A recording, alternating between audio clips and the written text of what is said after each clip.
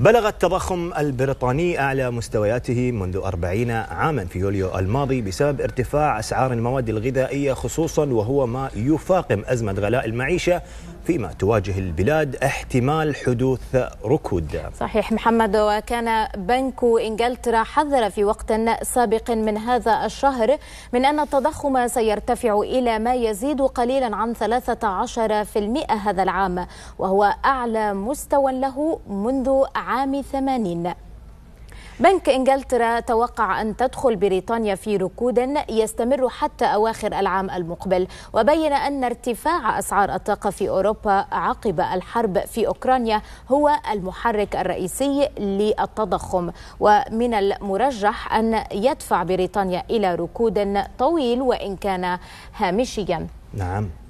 وإن كان هامشيا في هذا العام وردا, وردا على هذه البيانات قال وزير المالية البريطاني ناظم الزهاوي أن إجراءات الإجراءات ستتخذ من خلال انتهاج سياسة نقدية قوية ومستقلة وفرض ضرائب معقولة واتخاذ قرارات إنفاق والقيام أيضا بإصلاحات لتعزيز الإنتاج والنمو. وفي آخر اجتماع بشأن سياسته النقدية رفع البنك المركزي سعر الفائدة الرئيسي بنصف النقطة المئوية ليبلغ 1.75 في المئة وهي أكبر زيادة منذ 70 أو 27 عاما.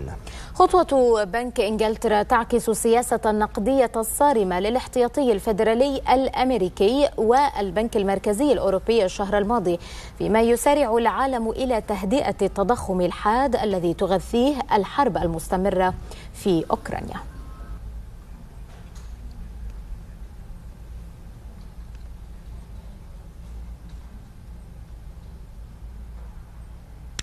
حول الموضوع ينضم إلينا عبر الاتصال المرئي من العاصمة البريطانية لندن الكاتب والباحث الأكاديمي الدكتور حميد الكفائي. أهلا وسهلا بك. أهلا ومرحبا.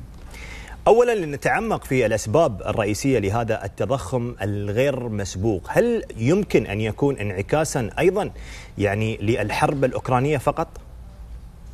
لا ابدا. ابتداء تحية لك وللمشاهدين. أسباب التضخم مركبة. هي ابتداء بسبب كوفيد بسبب جائحة كورونا التي قلصت من الإنتاج عام عامي 2020 و2021 قلصت من النشاطات الاقتصادية. وثم تبع هذه الجائحة الحرب الأوكرانية التي رفعت أسعار الطاقة. فأنت عندما ينخفض الإنتاج تحتاج إلى أن تزيد الإنتاج، زيادة الإنتاج الآن تكلف كثيرا بسبب ارتفاع أسعار الطاقة والوقود.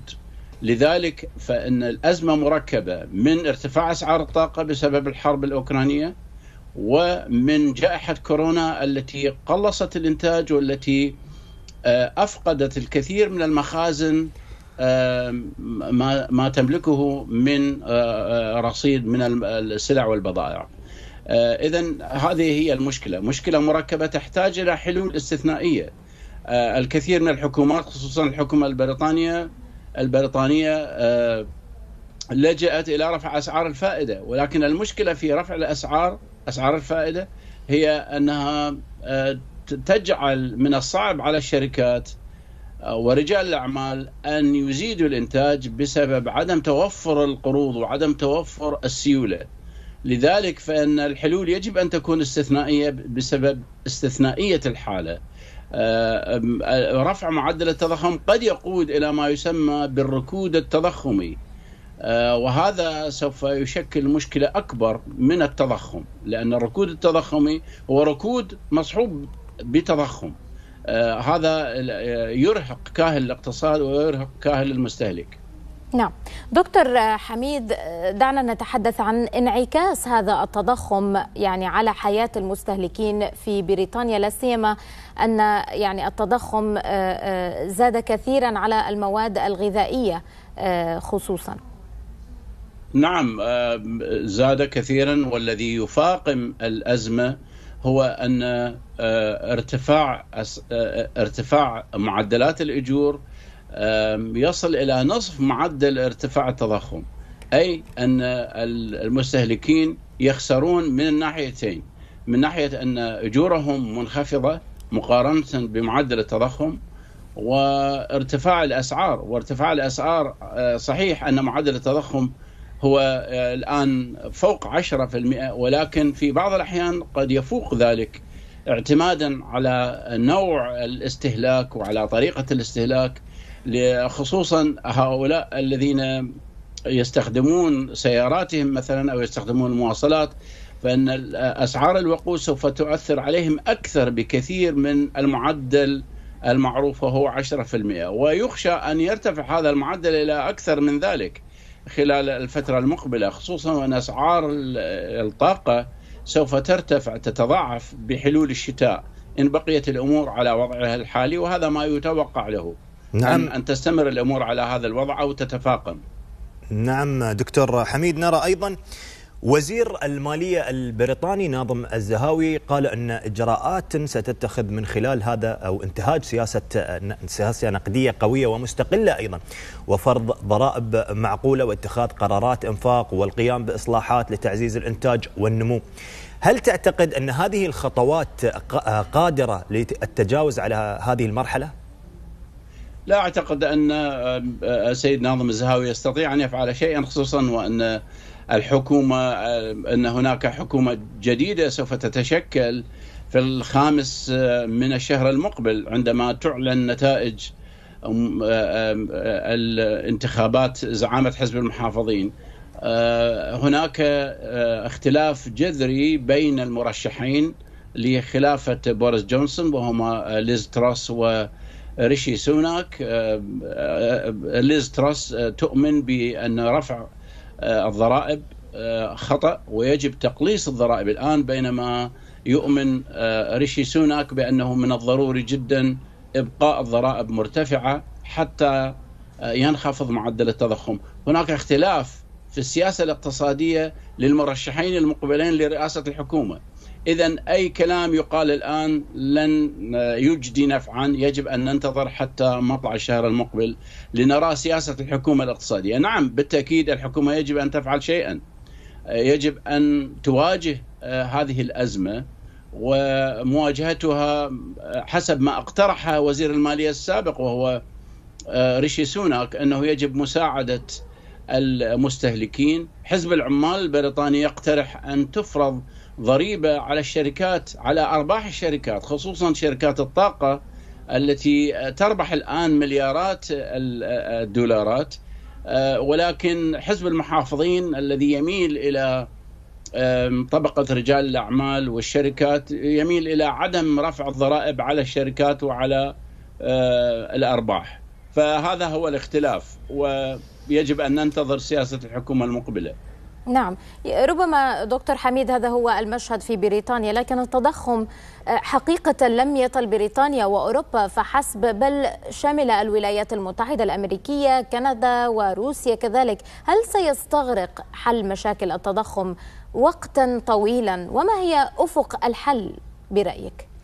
آه، نعم. هو في بريطانيا أعلى قليلا من أوروبا آه، وفي الولايات المتحدة هو دون العاشرة دون 10% 8.5% تقريبا. آه، التضخم آه، آه، مرتبط. الآن أصبح العالم يتأثر بالكثير من القضايا المشتركة.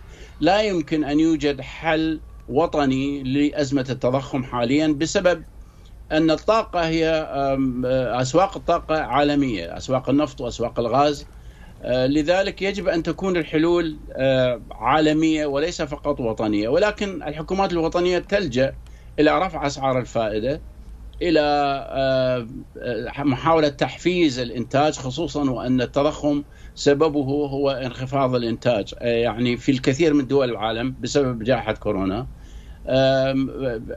الكثير الكثير من الدول تلجأ إلى رفع أسعار الفائدة. وهذا له أثر سلبي أيضا على الاقتصاد لأنه آه، يصيب يجعل ويدفع رجال الأعمال والشركات إلى التريث في الاستثمار.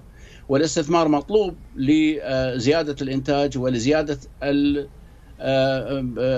ولتقليص البطالة لأن البطالة أيضا لها أثر كبير على الاقتصاد، لذلك فإن الحلول مختلفة من دولة إلى أخرى اعتمادا على درجة اعتماد هذه الدولة على أسواق الطاقة العالمية وعلى الظروف الاقتصادية التي تمر بها.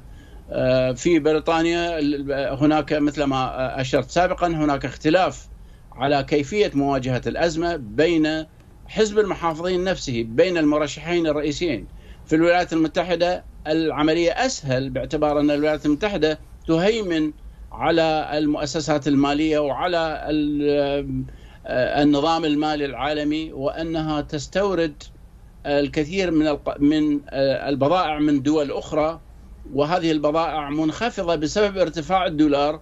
انخفضت أسعار الواردات في الولايات المتحدة مما أدى إلى خفض معدل التضخم. فالأمر كله يعتمد على مدى آه، قدرة هذه البلدان على أن على الخفض الواردات. وعلى زيادة الإنتاج وعلى اعتمادها على الطاقة ولذلك يجب أن تكون الحلول مختلفة في البلدان المختلفة. نعم. الكاتب والباحث الأكاديمي الدكتور حميد الكفائي شكرا جزيلا لك.